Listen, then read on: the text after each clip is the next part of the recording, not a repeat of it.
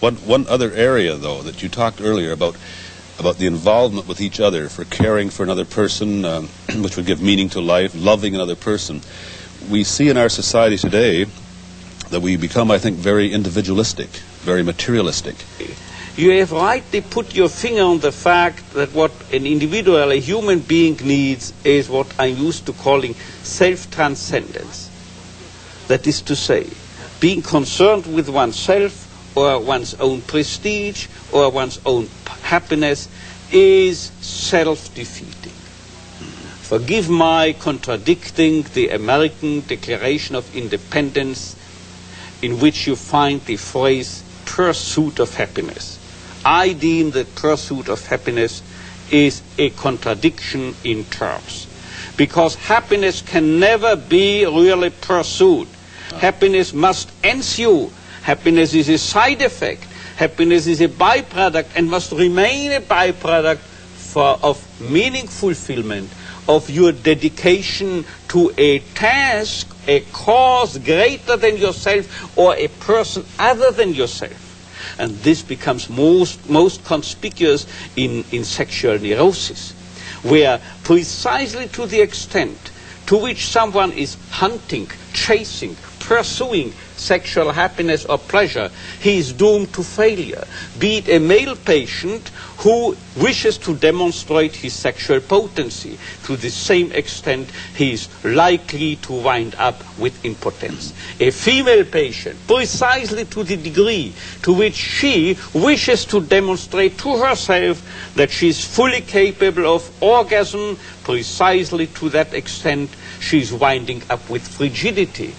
On the other hand, the more you give yourself, the more you forget yourself in love or in work for the sake of a cause to serve or a person to love to the very extent you will become happy precisely by not caring for happiness, precisely by overlooking and forgetting whether you are happy or not it's always the same as with the, uh, with the boomerang. When I was once uh, giving a lecture at the University of Melbourne in Australia, they gave me a boomerang as a souvenir, a, a genuine boomerang.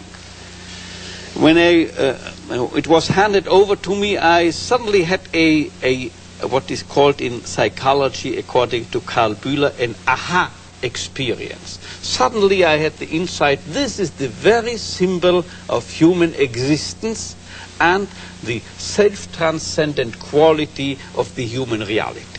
Because usually generally, it is assumed that it is the job of a boomerang to fulfill to return to the hunter. That's not true, the Australian told me, because only that boomerang returns to the hunter, that boomerang which in the first place had failed the target, you see, the prey. Right.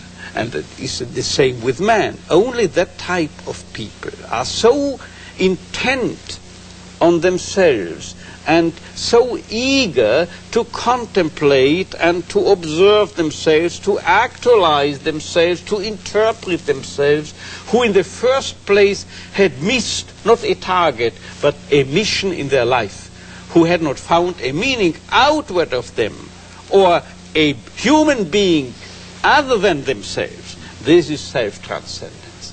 Not being primarily concerned with oneself, but something other than oneself, or still better, someone other than oneself. Man becomes himself. Man is actualizing his self. Man is human precisely to the extent to which he does, is not concerned with himself or anything with him, eh, him, himself, but living out his self-transcendence.